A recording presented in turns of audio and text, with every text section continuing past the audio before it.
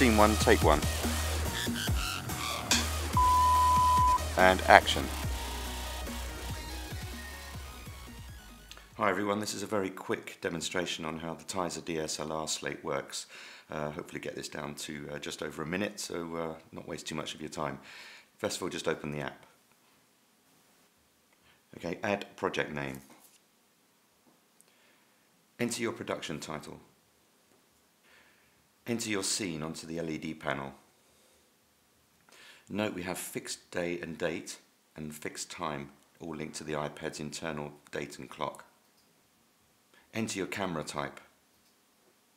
Input your lens type. Make sure you're using the right frames per second rate.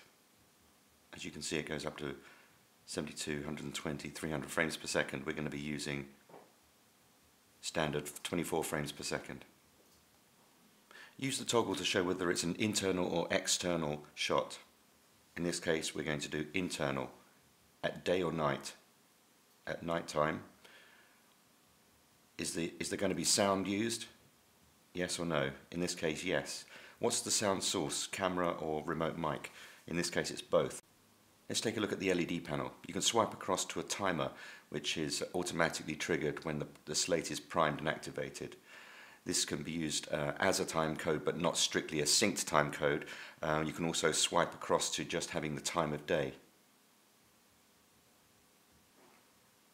Make sure your scene and take are set. In this case it's scene 2, take 1. If you're happy with that, then lock the slate. You can see the lock bar comes across which means nothing on the screen can be adju adjusted or adapted. Prime the slate. You can see the sticks at the top have color bars to, to show you uh, whether your screen and uh, camera are calibrated and it also has grayscale. Okay, let's uh, hit the slate for action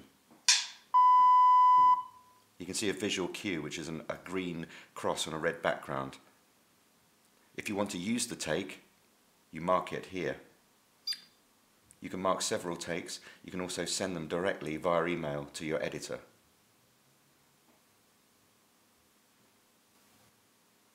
If you're shooting at a darkened set, you can toggle the interface to go white out of black so there's less glare and toggle back.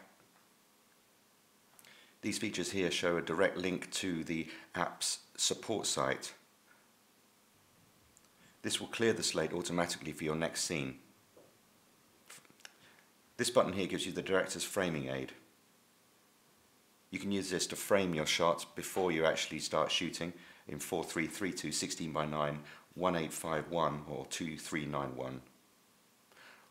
One last thing, you can see when the slate is primed, you can not only see through the actual uh, behind the slate using the camera, but there's also a visual cue here of a reel which lets you know that the slate is primed and the camera is running. Okay, that's about it. I hope you enjoy it. Thank you very much.